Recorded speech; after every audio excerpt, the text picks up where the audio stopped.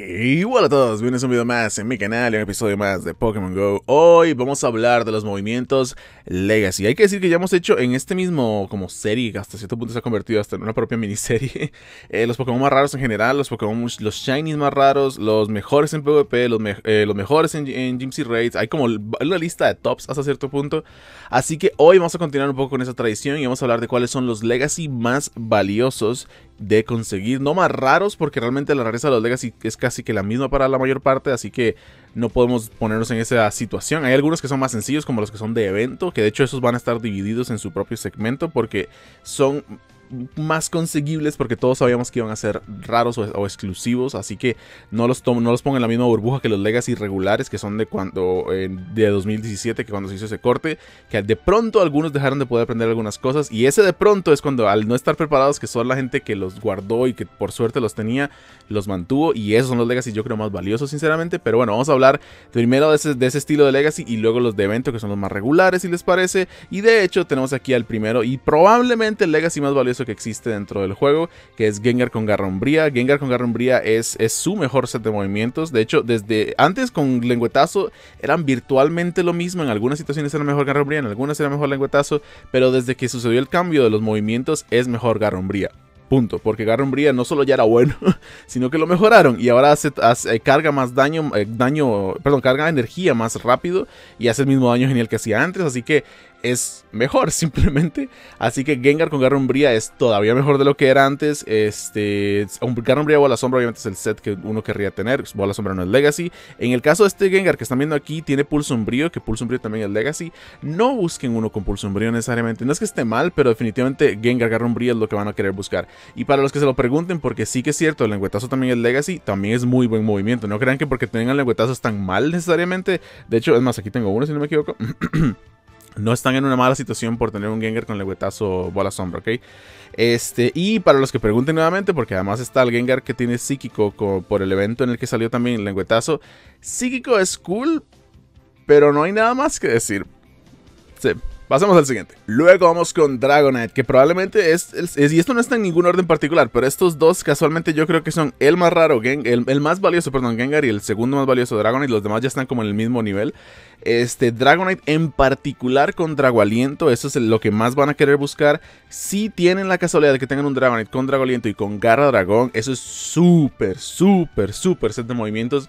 Carga súper rápido la energía, más que nada en PvP. Y de hecho, eso es un set para PvP, honestamente. Dragoaliento, y de hecho, la razón por la que mucha gente no los veía importantes antes es porque antes no estaba el PvP. Y Dragoaliento no es tan buen movimiento en Gyms y Raids como si lo es en PvP. Y ahí es donde cae y recae la diferencia. Si tienen Dragonite con Dragoaliento, van a ser daño mucho más rápido. Ustedes saben lo brutal que es Dragonito. Ya lo han visto ser utilizado con Altaria, con Kindra, con, en fin, con un montón de Pokémon diferentes de tipo dragón. Este, y aquí no es la excepción. De hecho, aprovecha bastante porque Dragonite es muy resistente y pega bastante fuerte. Y teniendo movimientos como estos, lo hacen muy OP en PvP.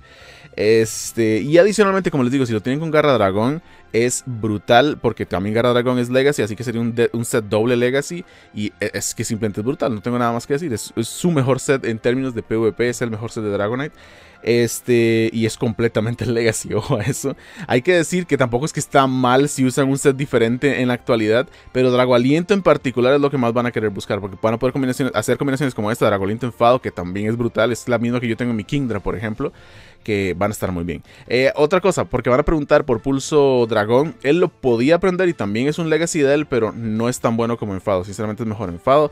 Así que tampoco se, se molesten demasiado por buscar uno con Pulso Dragón, que también es legacy, pero no, no es tan bueno como sería Drago Aliento en términos de ataques rápidos o como Garra, Dragón, perdón en términos de este, ataques de carga para PvP. Y bueno, ahora vamos a hablar de los otros Legacies que están como en este otro nivel, por decirlo de alguna manera. Eh, aquí todos son súper útiles de una u otra forma, eh, ya sea en PvP o en Gym Raids o en lo que sea. Eh, en el sentido, bueno, en este momento, Machamp, este, este que están viendo es doble Legacy. Así que en este caso, ustedes dirán, ¿este es necesario tener doble Legacy?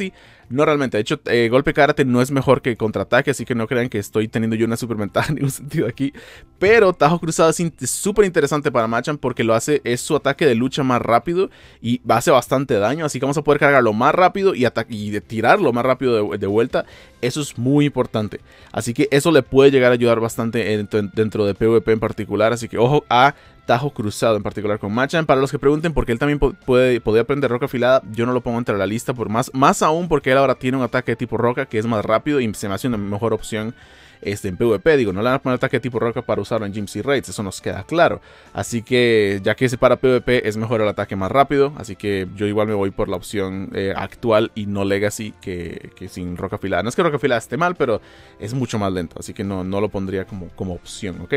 Luego, y aquí tenemos todos, tenemos aquí a Cloyster, que este Cloyster tiene ventisca Cloyster no puede aprender Ventisca ya. De hecho, Cloyster, este. A ver, Ventisca es un buen movimiento para Cloyster en caso de que ya tengan, por ejemplo, Alud, que es otro movimiento que puede aprender. Que hecho creo que tengo alguno aquí. Sí, Alud, justamente.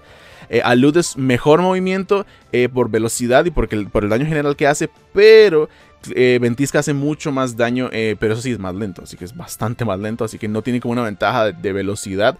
Pero si están en una situación de batalla que ya cargaron suficiente y están sin escudos, el rival pegarle una ventisca va a ser mucho mejor porque van a hacerle mucho más daño. Así que Cloyster puede ser utilizable en batalla también. No es de esos indispensables. Yo no considero que Cloyster en, esa situación sea súper indispensable. Hunter, ya me han visto utilizar a estos Hunter. Bueno, este no porque casualmente quedó 7 puntos arriba de la Liga 1500, así que GG. Este es doble Legacy porque tanto lengüetazo como bola sombra no se pueden aprender ya para Hunter. Este, eh, yo de hecho, ya más hasta cierto punto me benefició un poco porque el Hunter que sí que puedo usar tiene Garra Umbría o a la sombra, que si se fijan son los dos sets que mencioné hace un rato con Gengar. Eh, Garra Umbría para él no es Legacy, ¿ok? Así que ustedes, si, es que ustedes tienen este, uno con bola sombra, le pueden poner Garra Umbría y tener el mejor set para Hunter. Y además eh, llegar a utilizarlo en Liga 1500, que es bastante bueno, la verdad es que sí. Es mejor un Hunter subido, muy subido de nivel para Liga 1500 que un Gengar muy bajito para Liga 1500. Ojo. Este, luego vamos al siguiente. Executor eh, está por aquí. Executor con confusión. Es de, su mejor opción psíquica, si no me equivoco. Este, y siempre ha sido de los más buscados por aquí y por allá. Así que si tienen Executor con confusión, pues bueno, tienen una, una, buena, una buena opción. Lástima que está en 1530. Hasta ahora veo eso. Vaya por Dios, bueno, en fin. Vamos, sigue, sigamos. Tenemos Garados, que Garados tiene varios sets. De hecho, este que están viendo es Cola Dragón, este Enfado no es Legacy. Este, Cola Dragón es lo Legacy en mi, en mi Garados. Este, le puse doble Legacy porque creía que Enfado era Legacy, pero no, no, no. Lo que pasa es que tiene Pulso Dragón y Ciclón como ataques Legacy tipo Dragón también, que también son opciones de, interesantes de, de, carga tipo Dragón en su set. Hay que decir que es más, más allá de los, los ataques de carga, lo más interesante son que él te podía, podía tener antes Cola Dragón y Drago Aliento, lo que hace que completase un set, eh, un set completo, sin valga redundancia, de tipo Dragón, que ahora ya no lo puede hacer. Ahora solamente puede aprender enfado. Y ahí el problema, porque ya no puede tener un set entero de tipo dragón. Así que ojo a eso. Tomen en cuenta que Cola Dragón es el mejor ataque dragón rápido para Gyms y Raids. Y Drago Aliento es el mejor ataque dragón eh, rápido para PvP. Así que tiene las dos opciones. Potencialmente pueden tener un buen Gyarados en su equipo. Luego tenemos a Lapras en esta lista. Lapras, yo no, este no, no le hagan caso a mi Lapras. Yo no tengo ningún Lapras Legacy, nada más lo puse para, para este, dar ejemplo, digamos, visual. Pero Lapras con rayo hielo es el más interesante, ya que le da este cierto poder y velocidad a su, a su set de carga. No es indispensable, tampoco crean que es así, pero es un, es un buen set.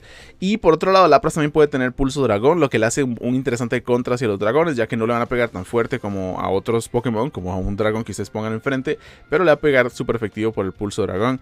Reitero, estos de Lapras están un poco en la categoría de Cloyster, que están cool, no están mal, pero no son indispensables definitivamente. Luego, Vamos a bajar a Omastar, que Omastar es de los más buscados y, cotizados. Bueno, era, mejor dicho, de los más buscados y cotizados. Antes de que llegaran cosas como Tyranitar con antiaéreo o este, Rampardos con cualquier set.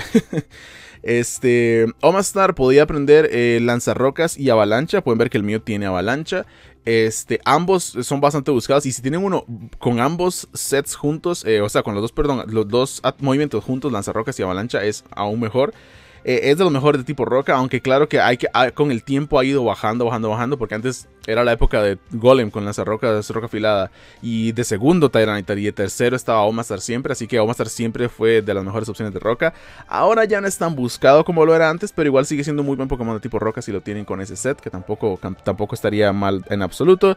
Y por último, en esta lista de los principales está Suicune. Suicune, y ya, lo, ya me han escuchado mencionarlo antes, pero Suicune antes podía tener poder oculto, lo que le provocaba tener la, la, opción de tener este poder oculto de tipo agua como una de las posibilidades, pero ojo, es una de las posibilidades y tomen en cuenta que si ustedes tienen poder oculto o con cualquier otro Pokémon, este, aunque le pongan MTs no va a cambiar el poder oculto. El poder oculto es el que tiene este. Este, por ejemplo, tiene de hielo y este tiene de veneno. Bueno, y además toman en cuenta que poder oculto en Suicune es Legacy. Así que si le ponen MTs, GG y no vuelve poder oculto porque ya no lo puede aprender. Así que cuidado con eso. Pero bueno, la cosa es que lo puede aprender tipo agua, lo que hace que tenga un set completo de tipo agua, cosa que no tiene en la actualidad de ninguna otra forma. Luego vamos a pasar a la siguiente sección aquí, que son las menciones honoríficas de, los, de la sección que acabamos de ver. Así que estos son otros que tal vez podrían estar bien este, por otras razones y en algunas situaciones.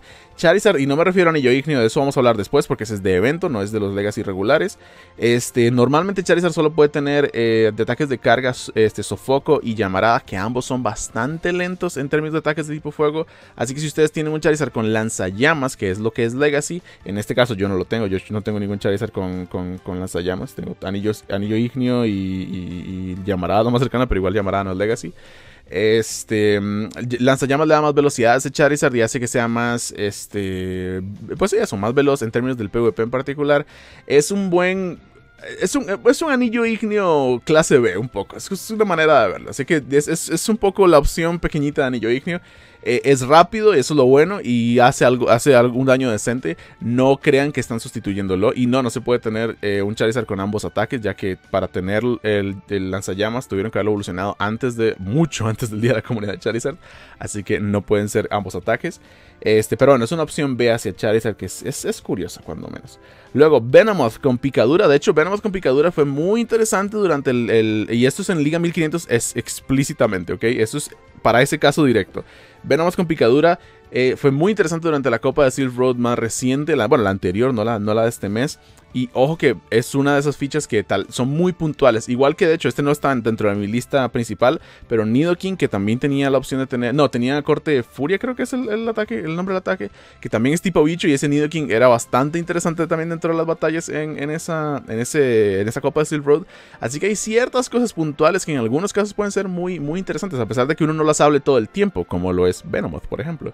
Eh, luego vamos a bajar a este por aquí. Creo que de hecho yo lo tengo, si no me equivoco. Sí, justo. Arcanine con Terra Temblor. Y Arcanine de hecho, quiero ver aquí la lista completa, porque Arcanine tiene este, varios otros ataques que puede aprender, eh, que podía aprender Legacy. Tiene Mordisco como ataque rápido, como una opción rápida. Tiene, tenía lanzallamas, también él tenía lanzallamas. Este, y tenía Terra Temblor, que de hecho es lo que yo estoy mencionando en particular. Pero ojo que con lanzallamas sucede algo parecido que con Charizard, porque, y más para Arcanine, porque él no tiene anillo ignio como una opción B. Así que eh, la única opción de fuego que él tiene en la actualidad y que no sea el ataque Legacy lanzallamas es Llamarada. Llamarada es bastante más lento, así que ojo con eso. De hecho, yo creo que yo tengo, sí, justo lanzallamas. Tengo también un Arcanine con lanzallamas. Ese es un creo que para mí en PvP, si quieren un Arcanine bueno de fuego, creo que es mejor con lanzallamas que con llamarada. No por el daño que produce, pero por la velocidad a la que lo, lo llega a hacer. Porque la verdad es que es bastante, es bastante más rápido que llamarada. Este, hmm, interesante. No estaban mis opciones, pero qué bien que me fijé, porque definitivamente es una muy buena opción. Y Terra Temblor, obviamente, también les va a dar cobertura y les va a ayudar a tener ese, eso, justo, cobertura con, con Arcanine. Que, y además que es un movimiento inesperado, porque la gente sabe del ataque este, eléctrico o de triturar, que también podía tener triturar. Pero este Terra Temblor es de esas cosas que no se ven venir. Y de pronto llega y le hace Terra Temblor y uno como, ¿what? ¿Qué es eso? Eso es lo importante. Ese tipo de reacción, ese tipo de situación es lo más interesante. Y por último, de todas las menciones honoríficas, Blaziken con roca afilada. Lo pongo en este sector porque, sinceramente, como dije con Machamp, es una buena opción y es cool que él pueda este, contrarrestar algunos de sus contras. La realidad es que es muy lento y yo preferiría no, no tenerlo. O sea, que fuera un ataque secundario, es lo que mínimo preferiría para eso. Así que bueno, ahí lo dejo con Blaziken. Pero bueno, estos no son los únicos. Vamos a hablar de los mejores Legacy de evento. Y por último nos queda hablar de los Legacy de evento. En este caso, estos eh, bajo todo sentido son menos valiosos porque estos sabíamos que iban a ser exclusivos, que iban a ser movimientos que se iban a ir o que nos avisaron en algún punto que se iban a ir. Así que en este caso la gente se prepara, la gente los consigue, la gente los busca directamente dentro de sus eventos en lugar de que por sorpresa dejen de aprender algo, ¿saben? Así que es por eso que estos los considero menos valiosos, no por eso menos útiles, eso sí, eso es importante. Este, de hecho, Vinazor lo puse para representar a todos los iniciales porque no vamos a ir de uno en uno, pero Vinazor, Blast, todos los iniciales, no vamos a decirles todos, con sus ataques de día a la comunidad que todos tienen los mismos tres ataques, los iniciales, que es el ataque insignia de los iniciales, son muy buenos y de hecho se hacen, es la opción que tener con cada uno de los iniciales. Charizard con anillo ignio que vimos hace un rato, este, eh, Blastoise con hidrocañón, Venusaur con planta feroz y así para todos los demás iniciales de planta, fuego y agua de, todas las demás generaciones por venir. Son valiosos, así que intenten conseguirlos. En términos, eh, son muy útiles, son mejores que los sets normales y eso es lo más importante. Este, pero no es lo único, obviamente. De hecho, tenemos a Zapdos con Impact Trueno. Es de las mejores opciones de Zapdos. Estuvo durante las raids, este, el Raid Day de Zapdos y la semana en la que estuvieron las aves de vuelta. Es de los más útiles dentro de, los que... Es más, yo creo que es el más útil de, que se dio y creo que es el mejor set de Zapdos. Este, así que creo que es el más útil dentro del, del, grupito de las aves, me refiero, ¿saben? Creo que eso es como donde lo, donde lo vería, pero bueno. Este, luego tenemos a Moltres, que Moltres es un caso curioso. Ataque aéreo no es que sea su mejor set de movimientos, pero es uno, eh, combinando esos, esos sets, giro fuego y ataque aéreo, hace que él sea de los mejores este, este, generalistas. Quiere decir que él, pues, haciendo daño neutral, es de los que más daño hace, sin importar a qué tipo, contra qué tipo esté. Simplemente una cosa hacer daño directamente. Es de los mejores en ese sentido. Aunque sí que hay que decir que la, utilidad de Moltres y de cualquier generalista ha bajado muchísimo en el juego desde que se cambió la super efectividad. Porque ahora la super efectividad tiene mucho más peso que simplemente hacer daño. Así que ojo a eso, pero bueno, eso no quita que sea los mejores generalistas. Todavía sigue siéndolo. Así que bueno, ahí está la opción. Luego tenemos a Mewtwo, que este, a ver, este es, clásico de clásicos, Bola Sombra. Este nos avisaron un mes antes, creo, que iban a, que iban a quitar la posibilidad de tener Bola Sombra con los Mewtwo's que fueron eh, conseguidos en pases X. Así que todo el mundo se puso a usar MTs a lo loco y conseguir Bola Sombra e Hiperrayo, que también es Legacy. Definitivamente Hiperrayo no está ni remotamente cerca de ser tan bueno como lo es Bola Sombra. Pero bueno, Bola Sombra es de los mejores sets de nuevo, generalistas. Y en general para Mewtwo es que es uno lo puede usar con cualquier cosa, contra cualquier cosa virtualmente y tener un buen resultado. Este, luego vamos a bajar un poco más. Este, ah, SNT está ahí decolado. Luego tenemos a, a este Tyranitar con antiaéreo.